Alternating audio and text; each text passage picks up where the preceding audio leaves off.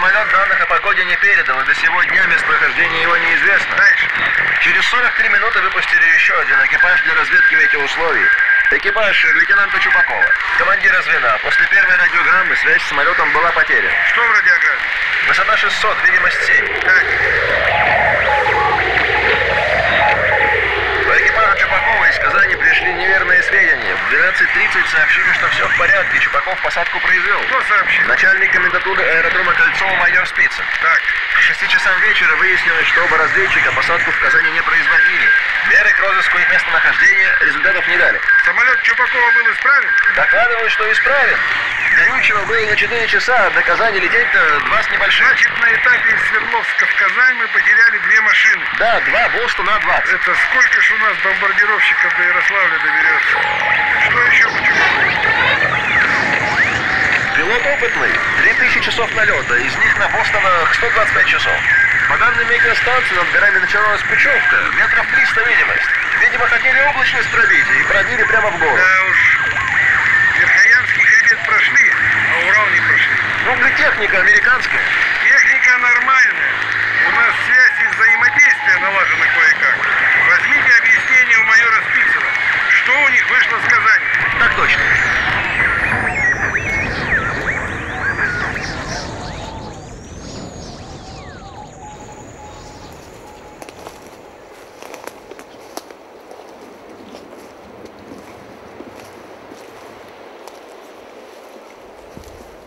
Июле прошлого года мы впервые выехали на это место. Так странно стеклись обстоятельства, что в прошлом году отмечалось 70-летие трассы Аляска-Сибирь. В прошлом году мы получили информацию о том, что здесь, на острой горке, в Верхнесергинском районе, лежит самолет. Вот. И достаточно быстро, наверное, в течение 15 минут после начала обследования мы под э, слоем дерна обнаружили первую кость. Это был фрагмент руки, как потом уже уточнили для себя нашего стрелка-радиста. Нашли мы достаточно большое количество деталей, которые помогли установить марку самолета. Э, Благодаря нашим коллегам, экспертам Министерства обороны, достаточно быстро они нам сообщили, что это самолет Бостона-20, американский бомбардировщик, который поставлялись по ленд-лизу. Э, Трасса Аляска-Сибирь проходила, конечная точка практически маршрута был Свердловск.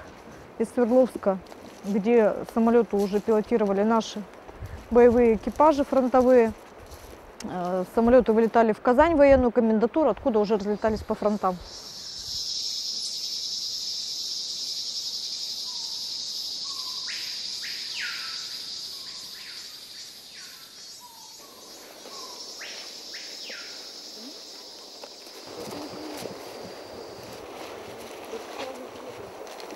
Че, взяли, встали по углам все. Обычно получается, что если мы приезжаем в экспедицию в район, то за один день мы должны полностью поставить лагерь. А теперь, Саша, натягивай и проверяй, чтобы все было без коряк. Не хочу на коряге 4 дня спать.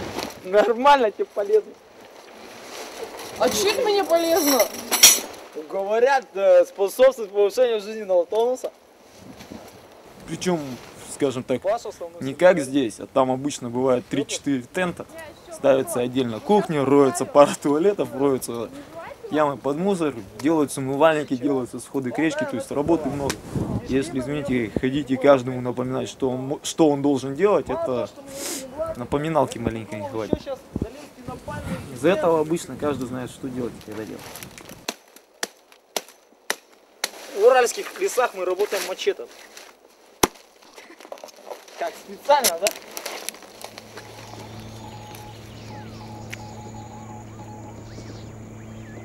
Ну, в то время это была тайга, абсолютно глухое место, хотя достаточно недалеко. Здесь проходила дорога, которая связывала верхние серьги с Ревдой.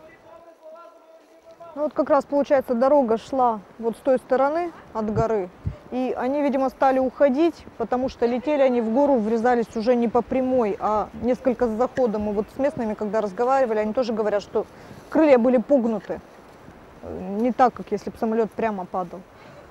То есть, ну, они осознавали, что неизбежно про- произойдет катастрофа, и они, в принципе, они, из чего мы еще это выводы сделали, они отстрелили баки с топливом. Если бы они рухнули вместе с баками, то мы бы собирали головешки от самолета.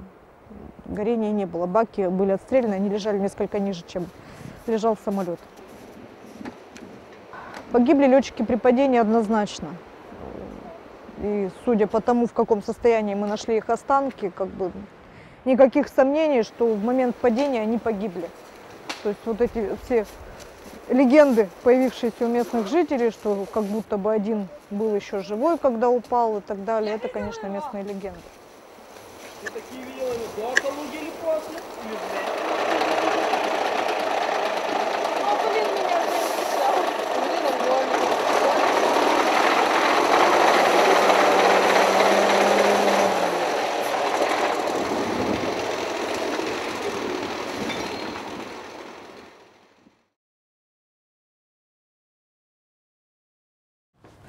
У штурмана Чебанюка племянница нашлась в Нижнем Новгороде. Она живет ближе всех. Украинские там племянники очень-очень старенькие, им за 80 лет, им тяжело ехать. Поэтому приедет племянница из Нижнего Новгорода точно. У радиста там администрация района активно поработала, прислали список, аж 6 человек собирается приехать. Причем собралась ехать сестра 26 года рождения. В эту поездку мы должны место работ вообще дочистить, вот совсем-совсем-совсем, чтобы наша совесть была чиста, что там не осталось хоть кусочка, осколка какой-то косточки. Потому что последнюю яму, когда добирали, там фаланги периодически попадали с пальца. Поэтому всех трех летчиков доработать, еще если что-то из личных вещей интересное, моем, упаковываем, потому что родственники приедут, будем каждому делать коробочку с вещами личными. Вот. Такая задача.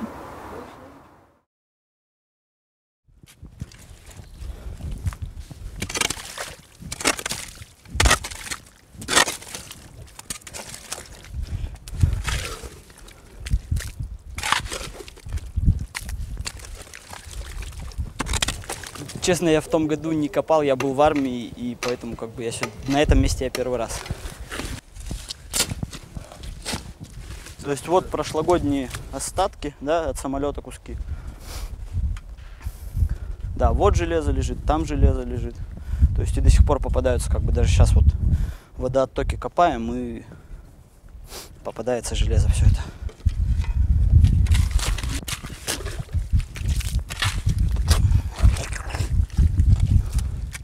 Узнал о существовании отряда случайно вообще абсолютно.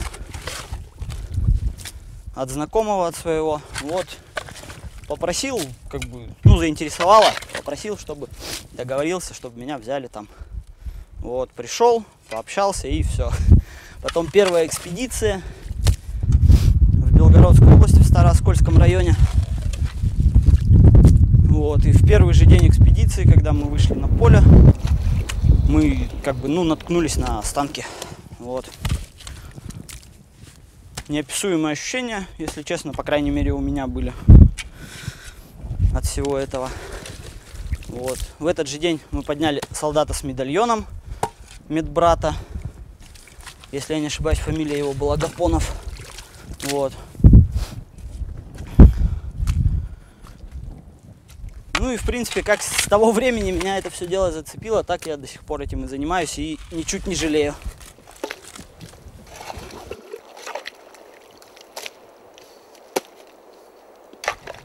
Я без отца рос, с матерью только, так что воспитывался, в принципе, мужской рукой деда. Вот.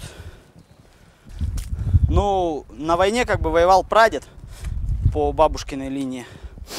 Вот. А дед десантником был.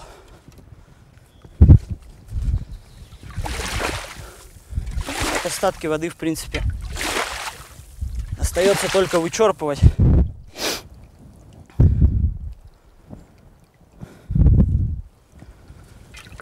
Вода у нас практически ушла вся. Сейчас еще что-нибудь поймаем. Ну, собственно, мы его и начали штурманов собирать вот, вот этот вот кусочек. угла пошли осколки черепа, позвонков, всего несколько. Пальчики по чуть-чуть. Вот где я стою, радист, он был, собственно, мы зацепились за руку радиста. А рука была где-то вот под кустами. Да, вот, вот, вот там вот. Под слоем дерна, вот буквально 10 сантиметров, наверное, не было. Срезали, и кость пошла, и все. И дальше мы просто вот дерн уже сворачивали, сворачивали, сворачивали. Вот. Радиста его растянуло. То есть его останки метра полтора, наверное, так размазала. Штурман, он компактно вот, вот тут вот. Вот это вот место. Вот. А командир, он сбоку, вот под той березочкой, там была большая кочка, и вот в кочке эти кости. Но самое интересное, что вот идет дорога, по ней лесники ездят. Как по нему ни разу не проехал, удивительно никто.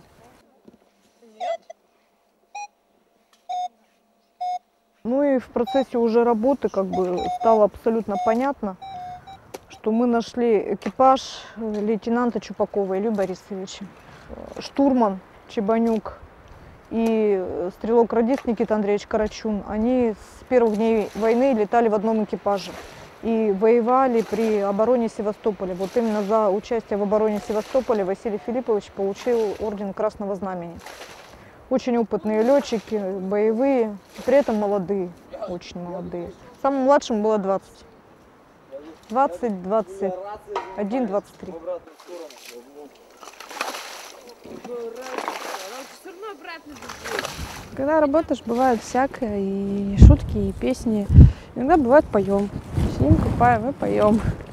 Сань, ты бы своим совочком еще вот эту жижу, что ли, откидал туда, а заодно посмотрел в ней. Потому что тут вот пальчики были штурманские. Все равно, если даже кто-то скрывает свою эмоции внутри, то все равно все понимают, что... Ну, если со стороны может выглядеть так, что о, люди привыкли на автомате уже копать, все равно где-то внутри у каждого человека что-то где-то вот ёкает. Вот сейчас довольно-таки часто это слышу. Зачем вам это? Зачем вы их трогаете? Вот они лежат там в земле, и пусть они лежат. Ну, я не понимаю, как объяснить человеку, что они лежат там, вот их убили, вот он упал и ходят по нему, поля пашут, машины ездят, что это, это неправильно. А можно в глаз не кидать? Я целился. Не надо, это было прицельно. Я себя просто спрашиваю, вот, блин, вот у вас там, я не знаю, кто-то из ваших близких умер, ну вы же на кладбище его хороните, вы же в церкви его отпеваете, там, я не знаю, вы же на могилку к нему ходите. Он тоже достоин быть похороненным со всеми почестями. И чтобы его родные и близкие знали, где он лежит, где его имя. Мало кто это понимает. Сам быстро. Некоторые просто говорят, да, вот заняться нечем. Зачем свой отпуск тратить на то, чтобы месяц жить в палатках, копаться в земле. Хомут фирмы Вайтек, Чикаго, USA. Партия 22 78 336. Лишнее доказательство тому, что мы действительно копаем самолет Бостон на 20. Саша, там где-то Тем и хороши детали американских самолетов, что они все проштампованы, все с номерами, все с фирмами, выпускавшими эти детали, потому что самые разные фирмы комплектовали самолеты. Легко потом определять марку. Металлоискатель есть специальная вещь, магнит такой круглый, ну, по крайней мере, у нас был. Очень мощный магнит, то есть идешь и ориентируешься на железо. Вот. То есть, если железо там, допустим, каску или что-то такое зацепляешь, тогда можно искать останки. Если же там попадаются пули или мины там какие-то противопехотные, то, в принципе, нет смысла на этом месте рыться. Вот когда ты выходишь в поле, когда вот металлоискатель в руках держишь, а у тебя дзынь-дзынь звонит что-то, и ты думаешь а, не то, что, ой, там, наверное, что-то вот э, переживаешь не из-за личной вещи, еще что главное, чтобы там боец был.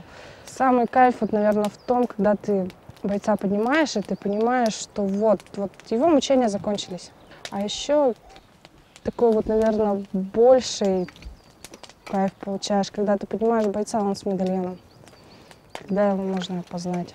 Вот когда читая медальоны, когда ты понимаешь, что ты можешь узнать чью-то судьбу и сообщить родственникам, что там вот сын, брат, дед, где-то вот Я же говорю, есть поговорка, первый раз съедут за металлом, второй раз съедут за бойцом. Ну вот, не надо, не все. не все. Не Это у все. вас у мальчиков. Скорее. Не спорю. Опа-па. Пошли детали гардероба.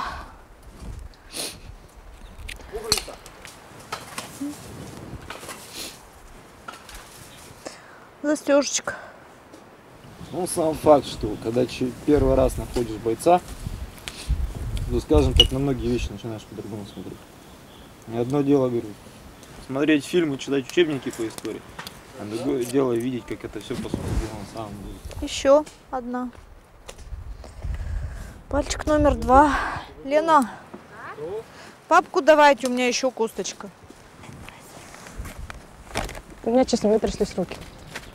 Вот от этого состояния вот непонятного, непередаваемого, вот просто тряслись руки, и с одной стороны не страшно, нет было такого страха, что ой, это Костя, как их в руки брать, а в силу того, что вот это был боец, его убили. Вот он столько лет здесь пролежал, и вот каково ему сейчас, вот что-то такое вот, вот такой страх, вот какой-то духовный, вот не физический страх, а вот больше духовный страх. И делать то, что должен делать. Гордиться этим. Извините, не я воевал, они воевали. И, так сказать, свой долг им отдаю. Если бы они не воевали, неизвестно были бы мы. Самые кошмарные воспоминания у меня остались после экспедиции 2010 года. Мы работали в Краснодарском крае, поднимали расстрельное гражданское население, где были маленькие дети, женщины. И я когда поднимали, зачищали уже скелет, и я смотрю, ну, я биолог по образованию, все равно как бы скелет знаю, смотрю, какие-то маленькие косточки, ну совсем маленькие. Ну вот такая вот. Такой косточки не может быть в организме человека. Но мы предположили, что эта женщина была беременной. Причем раз сохранила за столько времени, что беременность была уже на позднем сроке. Вот это было страшно. Я приехала туда работать на второй день, уже первый день работали у нас ребята, и те ребята, которые ездили первый раз, они приехали в лагерь вот с огромными, с огромными такими глазами, подбегают ко мне, Наташа, там дети. Там подняли ребенка, он был с открытым ртом, вот как убили, вот, вот это вот страх, ужас, вот так вот это и осталось, это было очень страшно. Мы работали на этом месте три дня, и вот психологически это было очень тяжело. Это тяжелее, чем поднимать бойцов.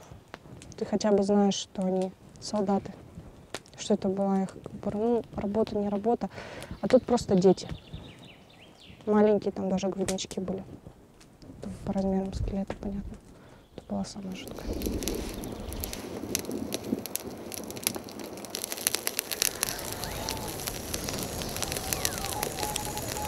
Тяжело, конечно, было эмоционально все это переживать, но отказаться нет. Да, многие не понимают, что когда училась в институте, все каникулы проводила на раскопках. Пошла работать, э, отпуск у меня уходит на экспедицию. Многие друзья, давай куда-нибудь съездим, отпуск, лето, юг. Нет, я поеду копать, я поеду вот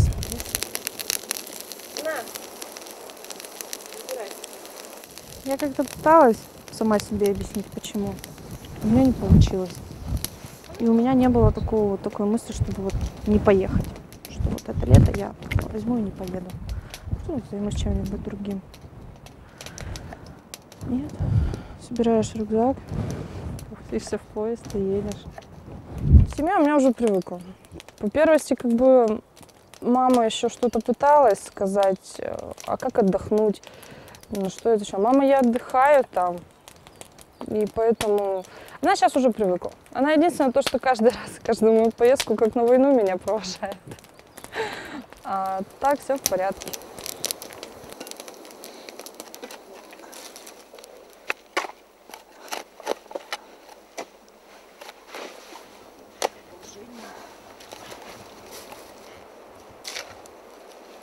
Жуки, а что там с обедом? Кстати. Война войной, обед по расписанию. Опа. Еще одна четверка. Итого осталось еще одну найти и комплект двигателя. Двигателей два. Ну, а мы на один почти нашли. Еще одну батарейку такую осталось найти и будет комплект. Ну, кстати, про приметы поисковые. Очень часто деревья вырастают из бойцов. Очень часто. У нас и получается командир с березкой, радист. И хоть кусты, но из двух кустов его собирали. От одного куста до другого. Также из корней. Вот Закорчевывать пришлось полностью. А этот вот сос- сосенок. висит. Это елки. Я его приподняла, кстати, корнями.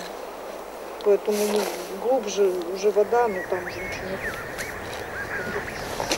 Все, пора обедать.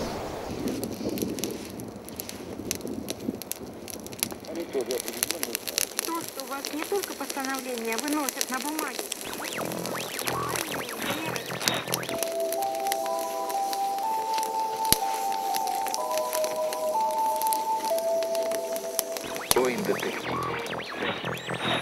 На болоте осока. Сверху глянешь, как шелк. Я летел невысоко, но летел, а не шел. Генеральная репетиция Парада Победы состоится сегодня в Москве. Иногда просто дарю с ума сходим.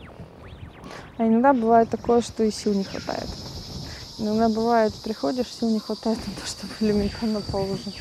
Приходишь, переодеваешься, падаешь, и все. Те, кто действительно ездит работать, они остаются. Кто первый раз, допустим, ездили, думали, что ой, будет весело, будем отдыхать. Они после этого на вторую вахту уже не хотят ехать. Бывает особенно, когда очень уже хочется выехать в лес, а не можешь. И бывает, что снятся и экспедиции снятся, и солдаты бывают снятся. Иногда в лесу снятся.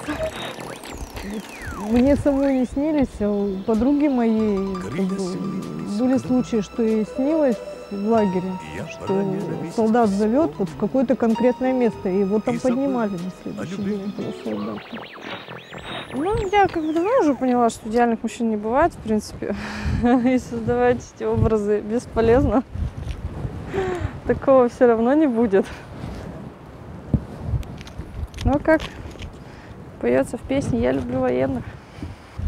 Да. Просто, не знаю, может, в силу своего характера, что ли, не характера. Просто была у меня мечта юности такая, всегда мечтала поступить в военное. Не сложилось, не получилось. Может быть, из-за этого вот и при- привлекла меня сначала патриотическая работа, а потом за ней поиск. Наверное, это захватывает и уже не отпускает. Ну, конечно, сдвиг. Ну, с другой стороны, лучше такой сдвиг, да, чем сдвиг, который там, не знаю, у наркоманов, у каких-то, не знаю, бандитов и так далее. Потому что, ну, все, что говорят о патриотическом воспитании, на словах-то никого не воспитаешь. А тут они, знаешь, у нас, как говорят, в поиске, э, ребята постоянно преклоняют колени, потому что, ну, вы же видели, как мы работаем, на четвереньках, на коленях стоя перед этими солдатами, когда поднимаешь, а по-другому никак не получится.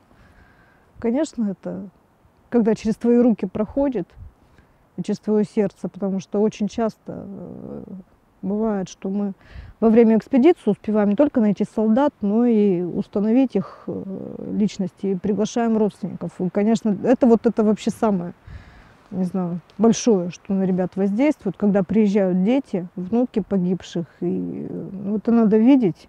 И надо слышать их благодарность. Конечно, у ребят это западает в душу очень-очень глубоко. Вот это воспитание патриотизма. Ничего лучше, на мой взгляд, нет.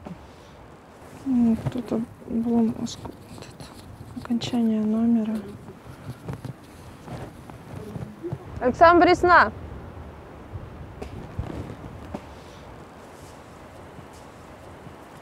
Не знаю, это с отвалов, со старого, или это не находили там номер, обломок какого-то номера. Ну, я, меня спрашивали, сама себе задавала такой вопрос, что вот если бы была война, Вот Если бы я жила в те годы, шла бы, наверное, добровольцем.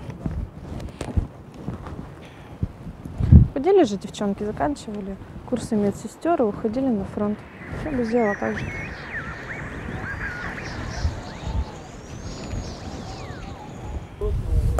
Что у меня тут склад пошел деталей. Смотри. Как это называется? Зампотех. На, изучай следующую деталь. Какая прелесть. Опа. Скорее всего, от радиостанций. В 43-м они разбили здесь на острой горке. Впервые самолет нашел в 44 году местный охотник. Поживился тут чем-то. Ну, понятно, к трупам он не полез. Ну, Год еще прошел, они разлагаться начали. Понятно, что как бы. Но как бы прибарахлился дядька. И в деревне сначала, значит, выплыл у них шлем. И в этом шлеме потом местный тракторист всю свою жизнь на тракторе катался и пахал в этом шлеме. Потом выплыла история с парашютами.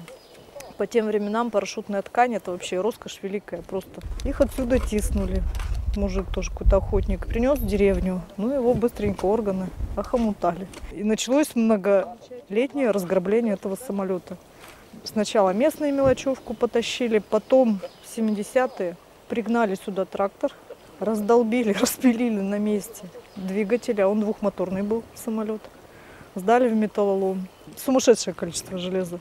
Вот в 90-е, значит, подтянулась следующая партия алюминий, пособирали, поздавали, когда принимать начали.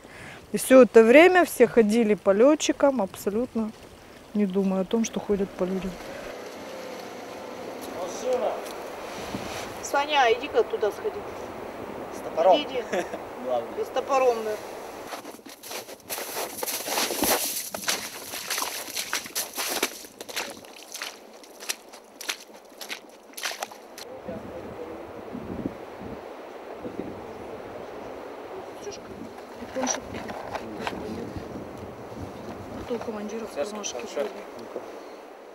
После войны очень быстро же документы трассы Аляска-Сибирь засекретили, они до 90-х годов находились под грифом «секретно». Поэтому многие семьи и не знали, что происходило с их родными. Даже несмотря на то, что вот их МГБ в 50-м году спецсообщение составляло, семьям ничего не сообщило. Помянем летчиков. Вам чего, конторки или Вот опять же здесь появилось для людей место памяти. Видишь, уже ездят. Уже знают, и ездят, и будут ездить. Поминать. Они не кости, они бойцы. Они мужики, поисковики их называют мужиками. Поднял мужика, поднял 10 мужиков. Кто? Я уже старше тех, кого мы поднимаем зачастую. В основном молодых солдат поднимаем.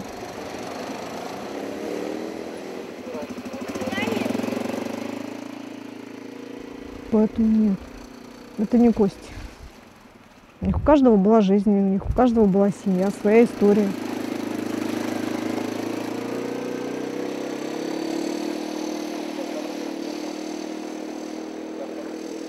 Воспоминания о моем родном дорогом брате Карачун Никите Андреевиче, 19 года рождения. Вспоминаю о его краткой молодой жизни я и его родная младшая сестренка Карачун Анастасия Андреевна, 26 года рождения. Мне было 5 лет, а Мите, как вся семья называла его ласково, 12. Митя был школьником, учился в пятом классе, учился на одни пятерки.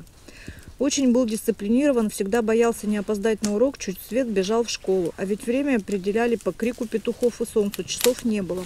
Жили мы бедно, у нас было 7 детей. Вспоминаю, как Митя провожал меня в школу в первый класс 1 сентября 1933 года. Пришли к воротам школы, а дальше в класс он не пошел, постеснялся учительницы, так как был босиком. 33 год был очень тяжелым. Страшный голод. У нас умерла с голоду маленькая сестричка Аннушка, дедушка и бабушка со стороны папы. Мы все выжили. Когда Митя стал постарше, в 16-17 лет, ему поручили ответственную работу. Вечером учил грамоте взрослых, совсем неграмотных людей. Одну избу приспособили к занятиям, туда приходили молодые женщины, девочки, которых родители не посылали в школу. Тут же, в этой вечерней школе, Митя познакомился с молодой девушкой по имени Анна. У них завязалась настоящая хорошая дружба, а потом и взаимная, чистая, настоящая горячая любовь, которая, как оказалось, была настоящая. До самого ухода Мити в ряды Красной Армии они дружили, так что им завидовали молодые односельчане. Весной 40 года Митя пошел в Красную Армию. Служил он в Грузинской ССР, в Азиане, в авиации, в экипаже, выполняя работу в качестве штурмана-радиста. Служба проходила, как он писал, нормально. Письма Митя писал домой очень часто, в которых выражал свою доброту, искренность, любовь ко всем родным, сестрам, братьям. Прослужил Митя в Красной Армии год, и ему за отличную службу дали отпуск в апреле 41 года. Во время отпуска Митя хотел жениться на своей любимой Аннушке, но родители ему отсоветовали, сказали, закончишь службу, придешь домой, мы тебе сделаем хорошую свадьбу. А сейчас за такое короткое время мы не сможем, не в состоянии сделать даже скромную свадьбу. Митя послушался и согласился с родителями. Погостил, одарил нас всех родных подарками, хоть и скромными. Пообедали дружно и весело, говорили Мите счастливые напутствия. Я же помню, стою в уголочке, где прибит крючок и висит всегда полотенце. Стою и горько-горько плачу. Душа моя, сердце разрывается от тяжести разлуки с моим дорогим родненьким братиком. Все полотенце было мокрое от моих детских слез. Наверное, моя детская душа чувствовала, что вижу своего братика Митю в последний раз. Митя, попрощавшись со всеми провожающими, сел на подводу, выстеленную сеном и домашним самотканым рядом, и уехал, оглядываясь на нас всех плачущих и машущих руками. И он намахал, махал рукой, насколько нас было еще заметно. Тут же началась страшная и грозная война с гитлеровцами. С самого начала войны при отступлении красноармейцев наше село бомбили. Вокруг нашего дома рядом упало три бомбы. Все вокруг сгорело. Сад, сарай, забор, хату развалило. Но стены кое-где устояли. Пришлось устраивать какой-то ночлег. Мы же все остались живы, сидя в соседском каменном погребе во время бомбежки. Через две недели с начала войны мы уже были оккупированы. Наступила страшная, голодная, холодная жизнь. От Мити никаких известий. Мама все время плачет и молится, просит Бога, чтобы он его простил и помиловал, оставил его в живых. Ведь Мите в то время было всего 23 года. Шли годы страшной войны, но мы все ждали и надеялись на лучшее. Но вдруг приходит похоронка. Что 13 сентября 43 года Карачун Никита Андреевич при выполнении служебных обязанностей пропал без вести. Это извещение ворвалось в нашу семью черными колючими стрелами в наши сердца. Мы все плакали с большой душевной болью, не находя себе места. Искали успокоение в том, что, может, Митя еще где-то жив, раз пропал без вести. Эта трагическая весть о Мите разошлась по всей деревне. Вдруг прибегает к нам Аннушка. Несмотря на то, что она была очень скромная, все же пришла, чтобы удостовериться, не правда ли, что пришла похоронка на Митю. Мы показали ей это страшное известие. Аннушка почитала его и посмотрела на увеличенную фотографию Мити, которая висела на стене, вздохнула тяжело и потихоньку вышла из хаты. Не захотела, чтобы ее кто-то из нас проводил домой. Вскоре добрая, милая Аннушка умерла. Не смогла пережить этой сердечной боли и ушла вслед за Митей в небытие. Прошло 69 лет с тех пор, как мы получили похоронку. Постепенно за эти годы все из нашей семьи ушли в небытие. Я осталась одна, родная сестренка Мити которого оплакивала все эти 69 лет. И вот 3 декабря 2012 года в 12 часов дня мне позвонили и сообщили, что ваш брат Карачун Никита Андреевич нашелся. Я страшно взволновалась и ничего не могла понять. Наконец я поняла, что мне позвонили родственники из села, которым сообщили из сельсовета эту новость. Подняла на ноги своих детей, дочь Людмилу и сына Михаила и внученьку Юленьку. Они меня успокаивали и обещали конкретнее все узнать. Я получила на руки пакет из организации «Возвращенные имена руководителя проекта» Александра Борисовна Ванюкова. Я прочитала эти документы и убедилась, как много проделано упорного, кропотливого человеческого труда. С большим усилием, собранным по, крупиц, собранным по крупицам данным о гибели наших славных героев-летчиков, которые ушли молоденькими из жизни, не испытав счастья своей личной молодой цветущей жизни. Все мы родные покойного Карачуна Никита Андреевича от всей души, от всего сердца – Выражаем искреннюю благодарность всем, кто принимал участие в этом благородном, нужном людском труде. Всему сводному поисковому отряду, всем, кто оказал особое внимание к поискам, всем вам крепкого здоровья и счастливой житейской доли. Записано со слов Анастасии Андреевны, внучкой Юлии. Вот. Позавчера буквально, позавчера Юля прислала с Киева.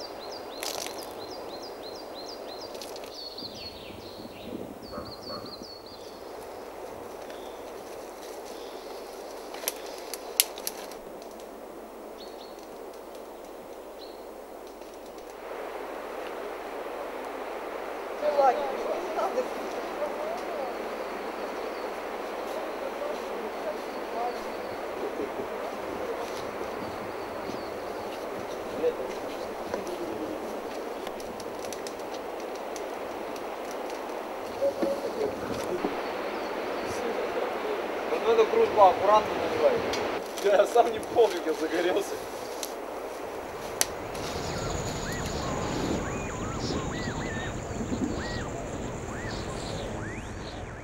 Ну вот под Ярцевым мы работали в Ярцевском районе Смоленской области. И мы немца подняли рядом с нашим солдатом. Я не удивлюсь, если там была рукопашная схватка. И мы не знали, куда его сложить. Мы сложили в отдельный мешочек, вроде в лесу оставлять как-то. Ну, останки принесли в лагерь и, и не знали, куда девать. Уважения я к нему вообще никакого не испытываю совсем. Что он здесь делает у нас под Смоленском? Что ему дома не сиделось? В Краснодарском крае у немцев была политика тотального уничтожения местного населения. Всех детей, стариков, хоть кого расстреливали. И вот захоронение у военных еще есть хоть за что зацепиться, чтобы там установить сведения о нем, да, какие-то вещи личные, ору- вооружение, еще что-то. А у гражданских не было ничего. Вот там на все захоронение несколько пуговик, пуговок от платья, там, от одежды, от чего-то. И несколько кусков колючей проволоки, которые руки были связаны. Ну, какое может быть после этого к немцам отношение? И понимаешь, почему в боевых регионах совершенно как бы другая память у людей, генетически другая память об этих событиях. Кому надо было писать лицо?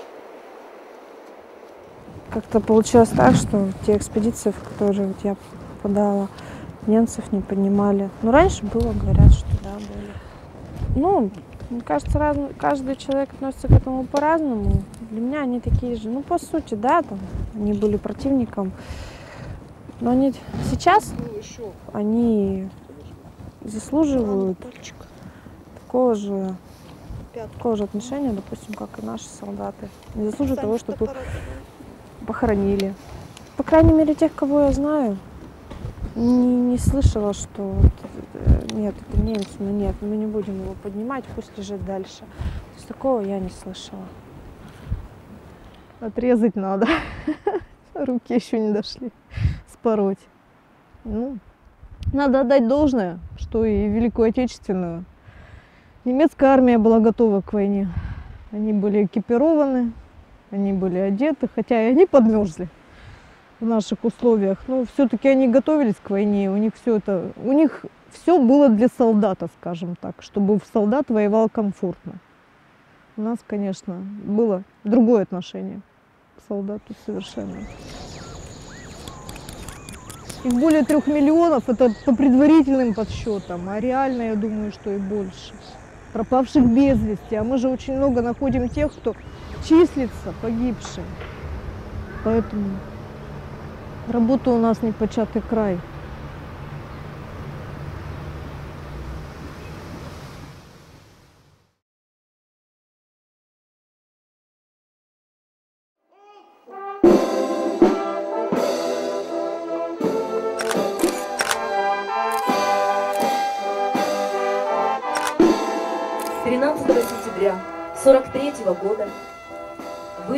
Разведку погоды из Свердловска в Казань, пропали без вести командир экипажа лейтенант Чупаков Илья Борисович, 1911 года рождения, штурман экипажа старший лейтенант Чебанюк Василий Филиппович, 20 года рождения, воздушный стрелок-радист, сержант Карачун Никита Андреевич, 19 года рождения, Наибольшего, наверное, счастья для поисковиков нет, когда не просто находишь останки солдата, а имеешь возможность установить его имя и найти его родных. Родных, которые, несмотря на прошедшие 70 лет, до сих пор ждут дома своих героев. Я хочу передать от моей мамы, сестры Карачун Никиты Андреевича, которая еще сейчас жива, здорова, но не смогла приехать сюда на это торжественное захоронение. Большое, огромное спасибо, человеческое спасибо всем тем, кто принимал участие в раскопках, в организации этого торжества. Она его помнит, знает много лет, особенно в такие торжественные дни, как 22 июня, 9 мая. у нее сутками не высыхают слезы. И вот действительно, мы не знали много лет, что случилось, где. Для нас это было неожиданностью, что пришло известие, что нашли останки моего дяди где-то в Свердловске, в тайге, потому что последние письма были из Крыма. Он защищал, он был в обороне Севастополя. После этого писем не было, и только похоронка пришла, что пропал без вести.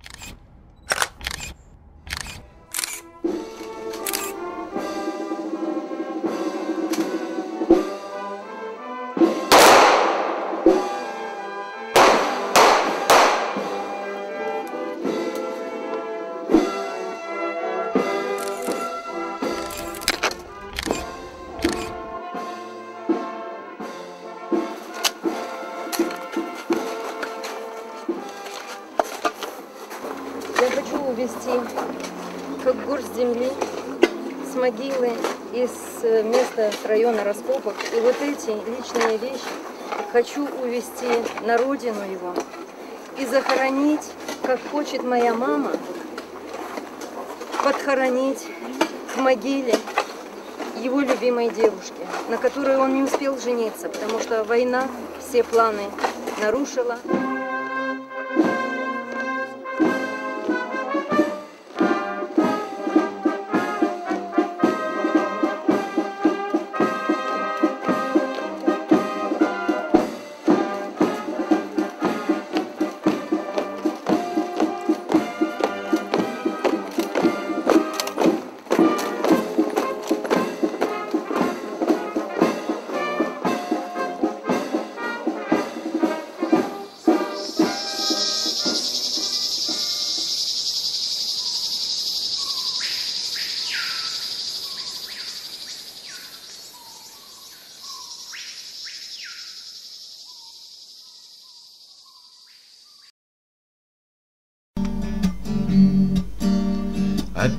Головой.